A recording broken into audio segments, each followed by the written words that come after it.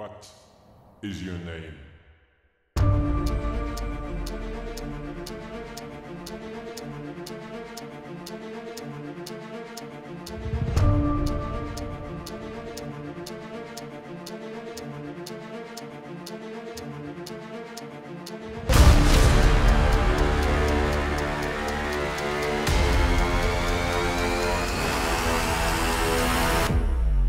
Just see for yourself.